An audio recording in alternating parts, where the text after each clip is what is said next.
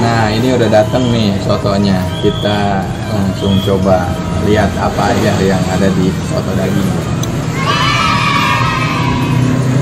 Dagingnya ini kayaknya daging sapi sih. Ini. Ada daging pakai tomat, ada kentangnya juga nih. Ada daun bawang. Kita coba kuahnya dulu ya.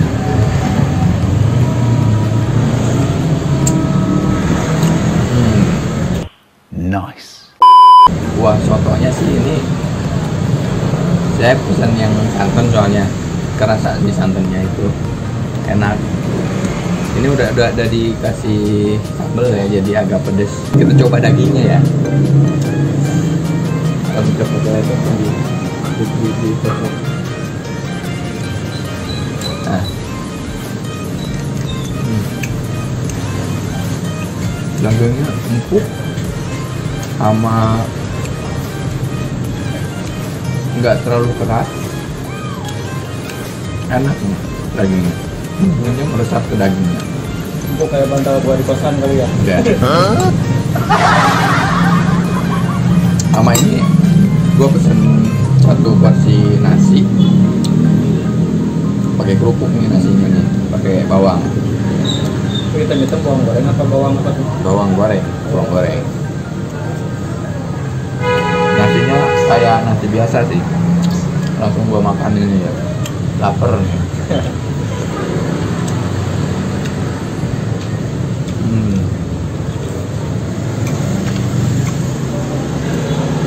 kalau gua itu paling paling hobi. Kalau soto-sotoan ini soto ini soto daging. Kalau soto kalau padang yang kemarin kalau padang padang binong Itu kan satu satu daging kan daging daging sapi ya, tapi kok kalau padang kemarin lu ayam. goreng tumben?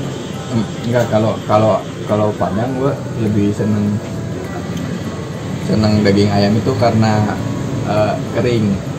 Karena gua suka yang kering-kering kalau kalau Oh, enggak, goreng-goreng kayaknya sih menurut gua lu emang udah dapat bumbu rendang jadi itu kayak daging Oh, sapi. iya. bisa jadi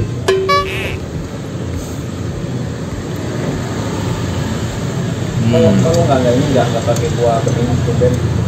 enggak bukan tumben emang gua nggak suka Kalau emang nggak suka. Hmm, kuat. Bukannya santan. Tomatnya asem. Kayak rasa tomat.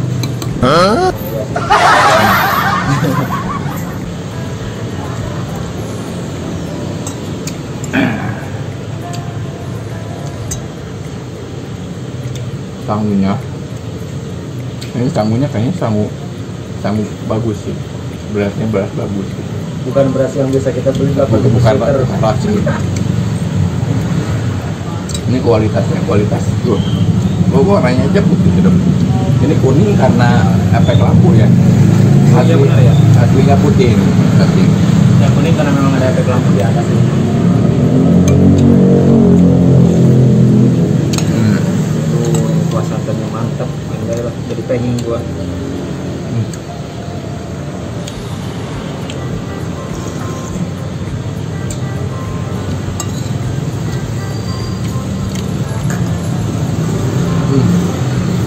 Mau habis aja nih. Jadi gimana rasanya? Bro? Pokoknya Iya. manyos. gila mana pedes ini tuh gila Berapa pedas Tangerang panas lagi kan. Hmm.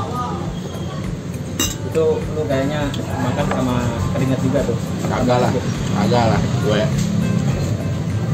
ini tisunya lagi susah keringetan aduh Wah iya pakai tisu. Biasa juga pakai tofu. ya paling gitu aja. Ini udah mau habis.